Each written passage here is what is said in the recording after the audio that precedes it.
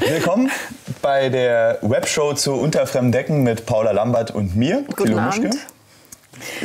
Ja, wir, ich äh, gucke die ganze Zeit fasziniert auf äh, deine Studienergebnisse aus Schweden. Mein, äh, mein Treffen mit einem Schweden war nämlich relativ kurz und sehr unspektakulär. Darum, ähm, wir sehen hier in unserem, wie heißt das denn?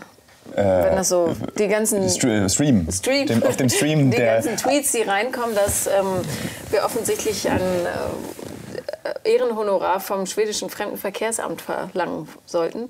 Ich bin bisher nie auf die Idee gekommen, extra nach Schweden zu reisen, aber denn in der Umfrage, die wir hier äh, live mitgeschaltet haben, hat äh, die Umfrage hat ergeben, dass 51 Prozent der Zuschauer, die da mitmachen, gerne mal nach Schweden fahren wollen würden, um dort Sex zu haben was erstaunlich ist.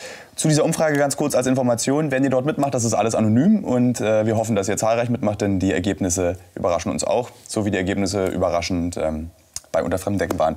Wie zum Beispiel, dass du in Frankreich festgestellt hast, dass Fremdgehen absolut legitim dort ist in dem Land? Ja, also es gab, es gibt ja dieses alte Klischee vom guten, erfolgreichen französischen Verführer.